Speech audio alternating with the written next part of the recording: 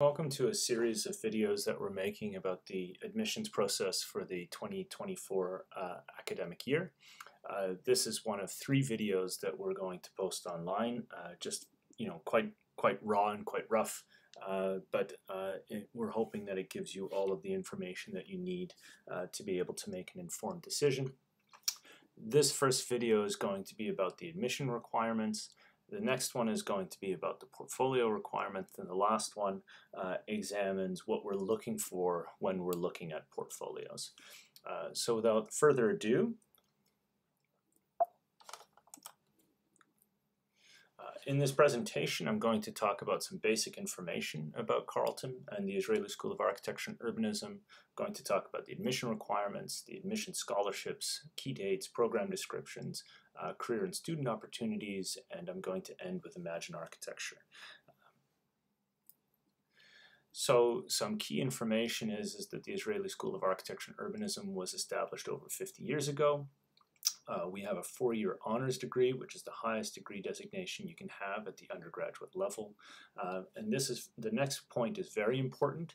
Uh, we have three majors, uh, conservation and sustainability, design, and urbanism and I'll explain each one of the three in turn.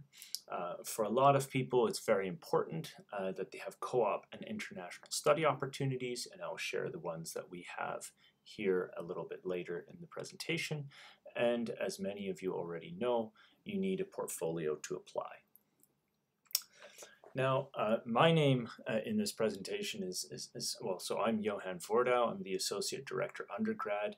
Um, I'm also someone that you can reach out to if you have any questions, but the very, very best person to reach out to is our undergraduate administrator, Cassandra. She knows absolutely everything there is to know about uh, our undergraduate program and the admissions process, so please reach out to her. If you have other questions about residence, or maybe you've got very unique uh, issues uh, with your admissions, maybe uh, you did high school a really long time ago, maybe you've done it abroad, uh, maybe you have done some credits in CEGEP or college. Uh, another uh, team that you can reach out to is the Carleton University Registrar's Office. Uh, they have all of the knowledge about those types of specific questions. So if the question is about our program, uh, please reach out to Cassandra. If the questions are very specific to, to other parts of the university or admissions, then please reach out to the Registrar's Office. So getting down to the kind of nitty gritty of things, our admission requirements is that you need English, physics, and advanced functions. You do not need calculus to apply to our program, but if you are uh, smart or, or, or, strong in math, we'll just include it as one of your other three 4U, 4M courses. Uh, so when we're looking at your um, grade point average, we will take those six classes, the three required ones and the three highest scoring ones, and we'll figure out your overall average. The minimum cutoff of is 74 to 76%, but really what we're looking at is students that are in the mid 80s with a strong portfolio. Carleton has very generous entrance scholarships. So let's say, for example, you're coming to us with a high school average of 87%, then you would get an entrance scholarship of $8,000. You do not need to apply you automatically get this uh, when you accept your your your your admissions uh, here at the school. Um, that's two thousand dollars a year. You need to maintain an A minus uh, average uh, at university to keep that scholarship.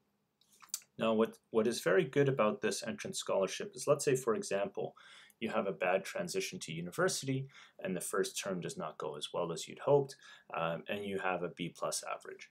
Uh, that doesn't mean that you lose the scholarship, it just gets put on hold. Uh, for the winter term, you'd have to work a little bit harder. Uh, you get that A minus standing and the money comes back. Now, the, also the nice thing uh, about the entrance scholarship is that it is for all new incoming students to Carleton. So if you've done college elsewhere, or if you've done CEGEP, uh, this uh, entrance scholarship is still available to you.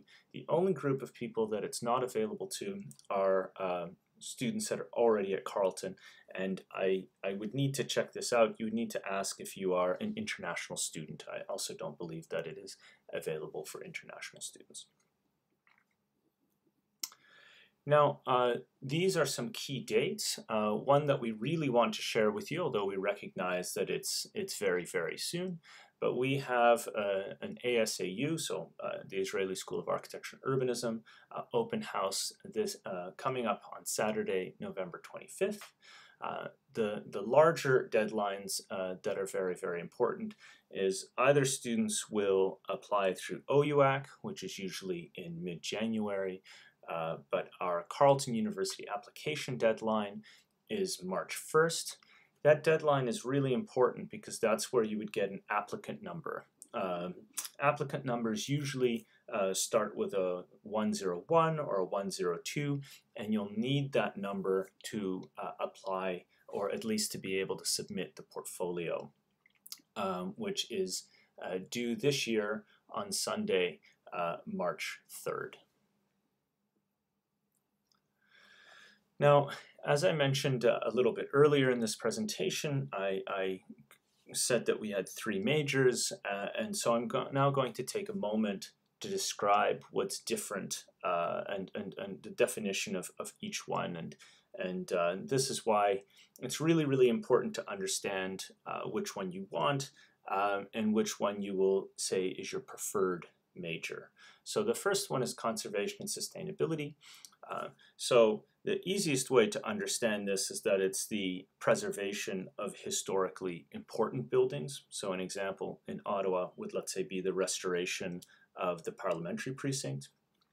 But uh, the way that we really want you to think about this is that it's more to do with um, the, the reuse, or what we call the adaptive reuse of existing buildings. So again, I'm going to use the city of Ottawa as an example. But here we have a lot of federal buildings that are currently sitting empty. In Ontario, we have a housing crisis. So the purpose of conservation sustainability is to explore how we might convert the, let's say, federal office buildings that we have into the housing that we need. You know, now, in Canada, it, it, may seem a little bit ridiculous to make this comment, but it, it is true. Uh, the majority of buildings are already constructed, right? And so it really uh, goes to follow that we now start to figure out, one, how do we prevent those buildings from going to landfill? How do we give them a second life? And how do we convert them into the things that we need as a city as we continue to grow? Design is what a lot of you would imagine a school of architecture to be. So this is for both new uh, and existing buildings. Um, over the course of the program, uh, you usually start with kind of small, simple structures and go to larger and more elaborate, complex structures and programs. Um, but the thing that we have, have shifted uh, in the last couple of years is that we've become more socially and environmentally uh, focused and aware. So our curriculum has also changed to include um, more uh, community engaged projects, uh, design build opportunities, uh, and new courses uh, that focus on environment and ecological systems. And the third uh, possibility for, for your major is urbanism. So this is looking at the built environment in a slightly larger scale, so at the scale of the community, the neighborhood. So if you're interested in policy, um, if you enjoy kind of infrastructure, larger systems thinking, zoning, uh, that's one facet of urbanism. The other facet of urbanism is, is really geared towards designing the public realm. So what is it to design an equitable city, uh, you know, equal rights to the city, um, and so how do we create a, an, an, environmentally resilient, uh, accessible uh, urban environment? Now the skills that our school champions are design thinking, um, so all three majors are what we call studio based. Now studio is um, you know, it, it, actually describes more the room in which this work happens. So, it's, you know, imagine a, large uh, design studio. Everyone has their own desk. They have their own space. Um, this is where you uh, let all of your kind of creative uh, uh work uh, flow. Um, but so in, in all three majors, you would get at the beginning of the term what we call a project brief. Uh, this would uh, say what, what, what you might be designing. So let's say in first year, which where the first studio is a common studio. Uh, maybe you're designing a small house or an extension off of an existing building. Um, and so this is where you, you develop that, that level of thinking. Obviously, the foundation of all university uh, programs is a, a, a, dedication to critical thinking, um, and that's no different in our school. Um, so this is looking at the relations of society, history, and culture, and, and trying to figure out how these things are interrelated skipping a couple, uh, but just focusing on the ones that are highlighted. Uh, obviously, our school uh, has a long history of, of really wonderful and beautiful graphic communication skills. Uh, so this is where you learn how to use any number of different programs and techniques. Uh, first year is still very much uh, drawing and, and, and drafting with a pen, pencil on paper. Um, and then in the later years, you know, we're preparing you for your co-op terms. So this is where you're going to be learning Rhino, Revit, where you have access to laser cutters, CNC milling machines, 3D printers, and all of those types of things. Uh, we, you know, we work uh, a lot in Adobe Creative Cloud, uh, obviously uh, through history courses and writing papers, Microsoft uh, 360. And so you're going to get a, an enormous number of, of, of, different you know, communication skills, uh, some of them graphic, some of them verbal, uh, as, you, as you go through our education. As you uh, continue along in your Bachelor of Architectural Studies degree, you're going to learn strong research skills uh, to prepare you for graduate studies, and then also to say that you know our, our program is, is focused on, on collaboration and peer learning um, and those very, very important facets of, of an institution. So collaboration in, in that sense is that you do group projects uh, some of the time, not often, but the group work that happens is, let's say, um, in second year, uh, maybe you have a very, very large site. So the class together will work on the site analysis of that large area, and then students will break up uh, and design individual buildings. Uh, there is one studio in fourth year where you will work with a partner because the project is, is, is very large. Um, but another thing that we're starting to implement in some of our courses is just where students also give peer feedback. Uh, so this is again a respectful way uh, of learning how to question and critique each other's work. Uh, it's important to kind of understand that work can always be improved um, and to, to kind of learn that critical eye uh, for, for how to, to both uh, describe uh, the, the work, uh, your own work to others, and to accept feedback from your peers. Now, I'm, I'm not going to belabor this slide for too much, but just to say that there's many career opportunities that you can uh, that you have when you complete a Bachelor of Architectural Studies degree. So it's not just that you can become an architect or a planner or a conservation architect, but you can go into many, many different design fields. Um, also, many of our students, which are actually not listed on this on this list, uh, continue on to game design, or they go into film or animation. Uh, so really, uh, the, the the world and and kind of the creative fields are at your at your at your disposal uh, with our undergraduate degree. Now, what's very important for, for many applicants is the opportunity to partake in co-op. We have a co-op office. Uh, they will help uh, you develop your portfolio, uh, teach you interview skills, they do have jobs, job postings. Uh, the school as well maintains an extensive alumni network uh, that, that offers kind of larger uh, job opportunities. Last year, uh, about 90% of our students found work in the first month and 100% of our students completed co-op. Um, now, to participate in co-op, you need a CGPA of a B, which is an 8 out of 12 um, and you need to complete the six-week co-op 1000 course. Now, you need to complete a minimum of three work terms, which is a total of 12 months of experience. And those, uh, for us, co-op happens all at once. Uh, it happens uh, from the um, summer uh, at the end of your third year uh, to the summer uh, before the start of your fourth year. Uh, and so it, it, you require an extra year uh, if, if you participate in co-op to finish your degree.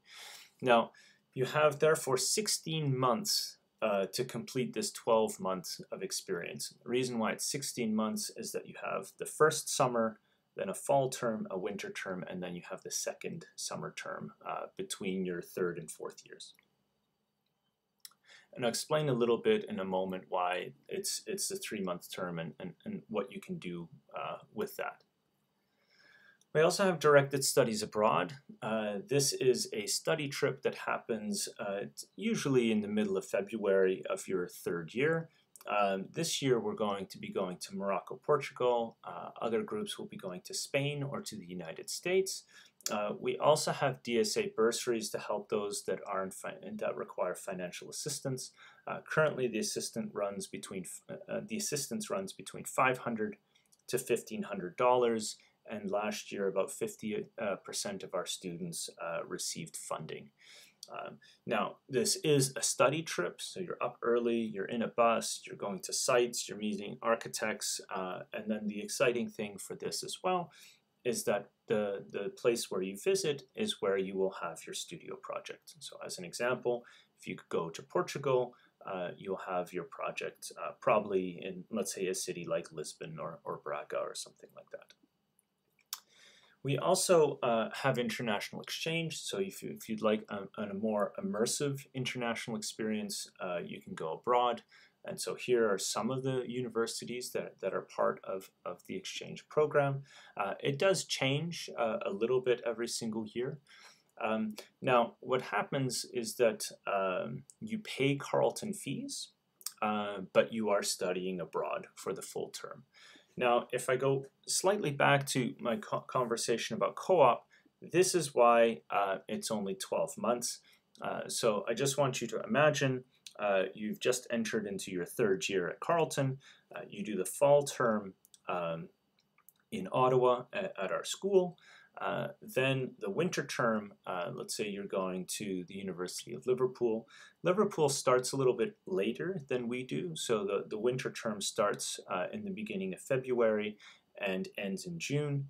So maybe what happens uh, after you complete your international exchange is maybe you want to do your first co-op term uh, in the UK, so you stay there. That's a possibility um, and then you just start and you would probably if you came back let's say to to um, back home uh, sometime in September and straight away continue with co-op you'd have about 14 months of co-op experience let's say.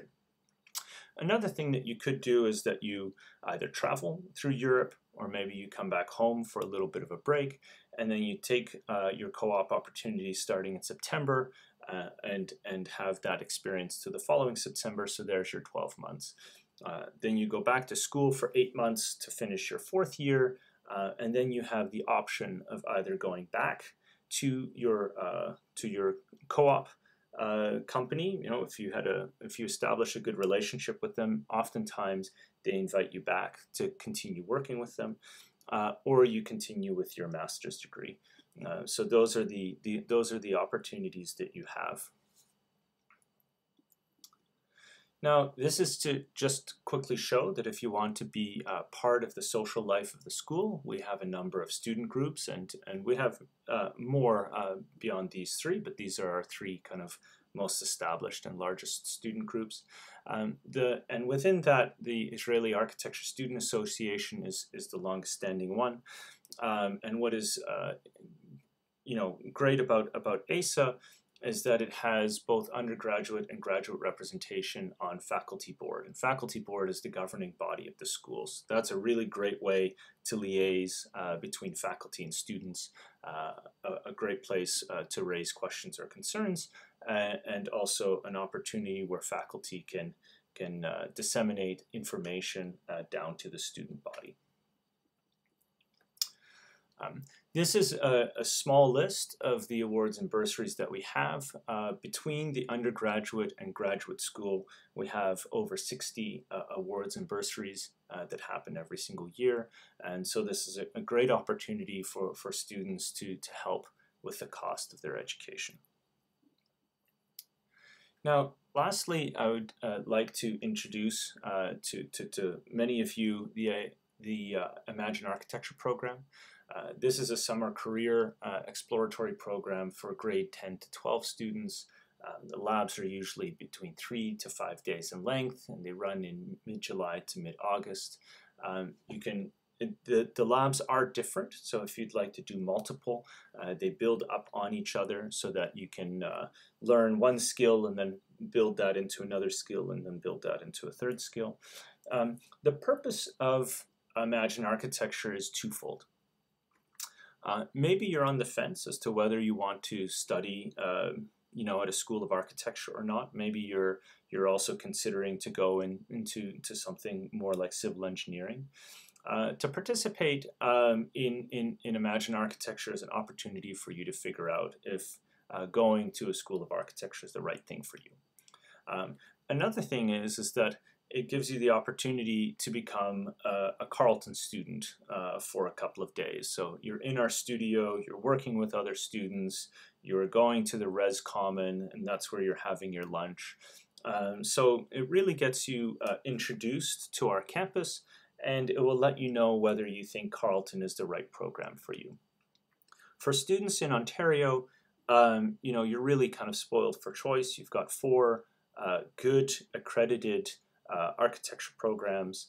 Uh, so really you should pick the one where you think you'll be the most successful and where you'll be the happiest. Um, and so uh, Imagine Architecture is a perfect opportunity uh, to figure out uh, whether the Azrieli School of Architecture is the right program uh, for you. So that's the end of the first video. Um, I hope this was helpful in getting you to, to understand the application requirements for our program. Uh, in the videos to follow, I'll be talking about the portfolio requirements, and then I'll also do a video of what uh, we're looking for when we're looking at portfolios. So thank you for listening.